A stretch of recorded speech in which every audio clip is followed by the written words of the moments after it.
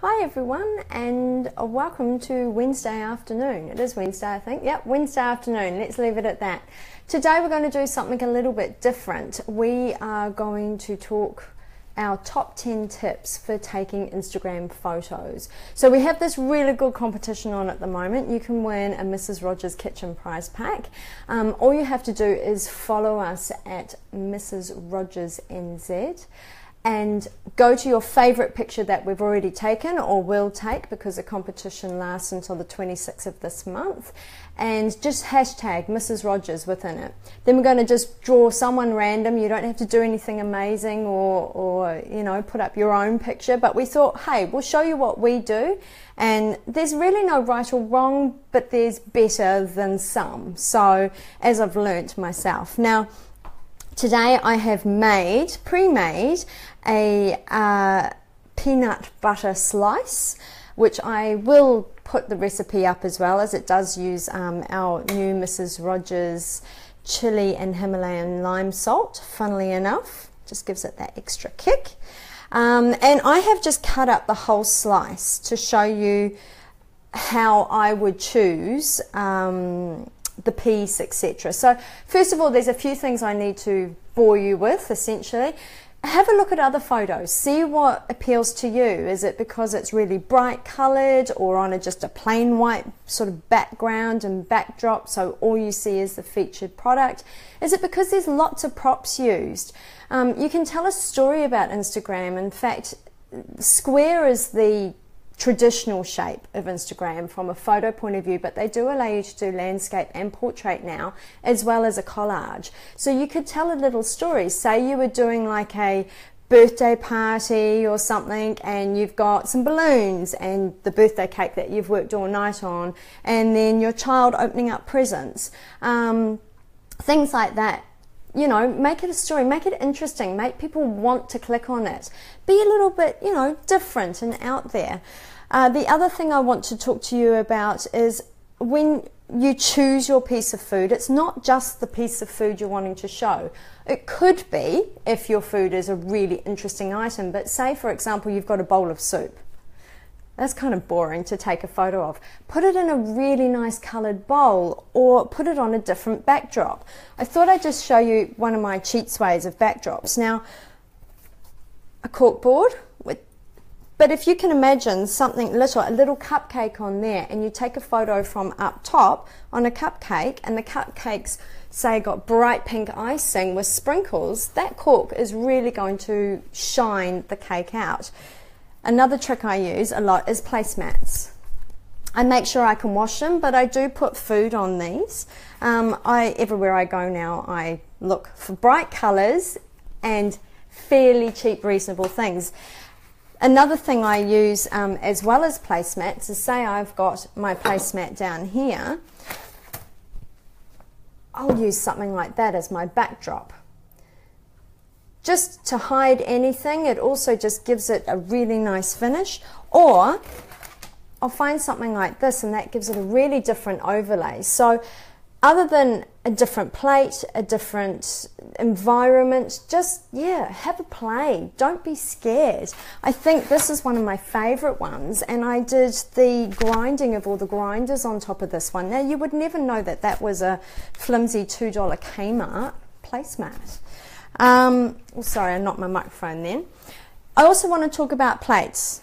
Because thank goodness to places like Kmart and other homeware stores, we've got a big selection now. It's not just your normal traditional white plate. So I picked that one up from Kmart and it's just different. It's interesting. I also went to another shop and got these just bright coloured plates. And basically what you want to look at is just something that's different, something that's going to make your food item shine. So today I'm going to try a couple of different options purely because this is what I do. Half of Instagram is number one, taking a lot of photos, and number two, trying a different couple of options so that you can uh-huh. see which looks best. So, I'm going to show you my slice. Now, I used a tin which had a subtle corner on it. So as you can see, this slice has a rounder corner. So I'm not going to use that one. and there'll be a few others, four others exactly. So I'm going to have a look which is my best one. Now that one is quite nice. However, see the edges? It's a little bit rough where I've cut it because my icing on the top essentially and I'm going to remove that crumb. So I'm just going to make that kind of look nice. Now this is a little bit tricky for me because I'm obviously I'm doing it for my eye but I'm going to try very my very best to do it for your eye. And that one I'm going to play it like that. Now they're really boring.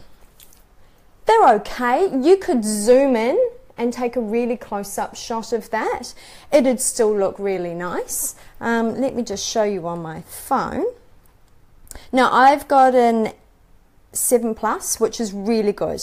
Um, it takes a portrait mode, which basically focuses in on the actual item and blurs out the rest of the background. So you look like a really good photographer. But I do tend to use my square mode. This not only helps me because of the grid on it, but it allows me to see what people could see in Instagram. Another good tip is I actually pull out ever so slightly because you can zoom in on Instagram.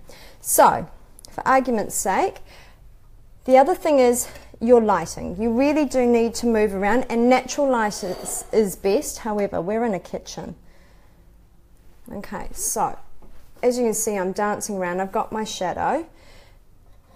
So I'm just going to, now I'm actually going to move this cake forward because I want more of the blue plate in the background. So don't be scared of shadows. They can lay a certain element for you. So that is just my first photo. Obviously I do a couple more, but that's just the dummy run. I'm going to show you how I can make this plate look a little bit more interesting.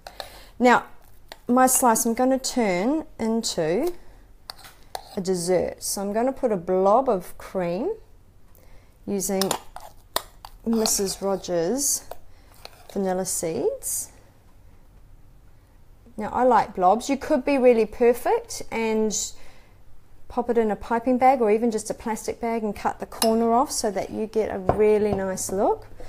However, I'm a bit slap happy when it comes to my home cooking and I'm also, just to make it a little bit more different. Now, if you just wanted a slice with your coffee, by all means do that. Now, the other thing is, is that if you had someone to help you while you're drizzling the chocolate, I'll see if I can be clever enough and do it ever so slightly.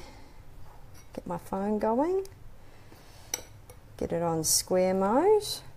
Just get the timing right. Okay, so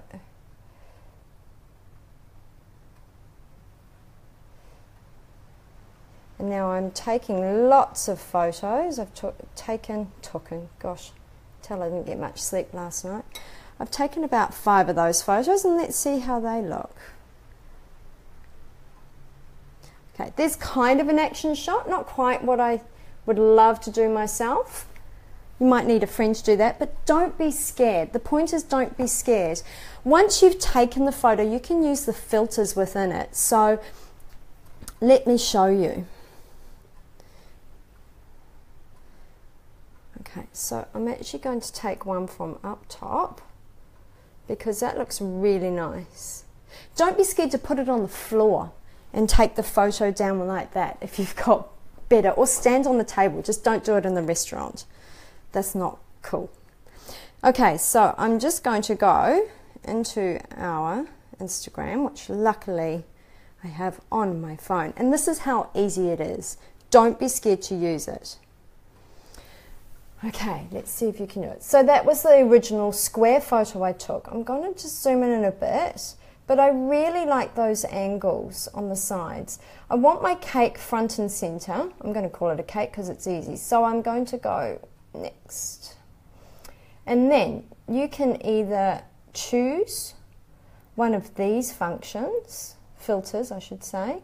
That one's quite nice you just go through and if, as you can see, or I'm hoping you can see, down the bottom is actually the what it would look like as well. So you don't have to click on all of them to see, oh, that's nice, that pink looks nice.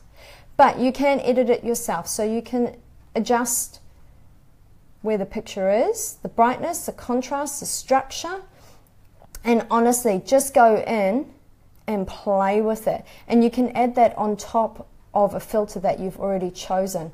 I always like to add a little bit of sharpness to my photos. So, done. So that would be my Instagram post and probably will be at this stage. Really, it just comes down to have fun, practice, take photos. Don't be scared of Instagram. There's a lot of new things now. Well, not that new, but newer to some of you who've got a bit scared of Instagram because so many people can see it. Um, you can change that in your profile, change the editing features so that it's just for the people you accept to see it. Uh, a lot of people that I know have two Instagrams. So they've got one of all their collector's items or their food, and the other one's for family and friends of family and friends. So, and that, that that profile only accepts sort of basically you can request for people to join you or you can either decline or deny people who want to join you. Uh, just have fun with it.